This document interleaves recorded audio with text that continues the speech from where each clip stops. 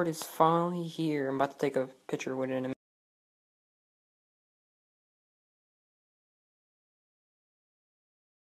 Put my sword. Yeah, I don't know what I'm gonna do. Probably just gonna break some tree branches down. Yeah. Some gifts to some people because it's Christmas Eve and like giving.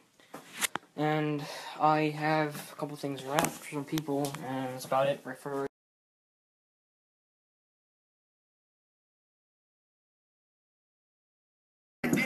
one. You still ain't did shit about the other ones. Got the drink in me going back to back. Yeah, going back to back. I got.